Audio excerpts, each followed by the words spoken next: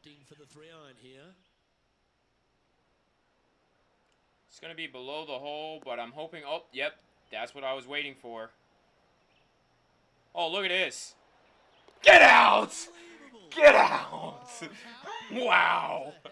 They had to give me that one. oh my goodness, get out.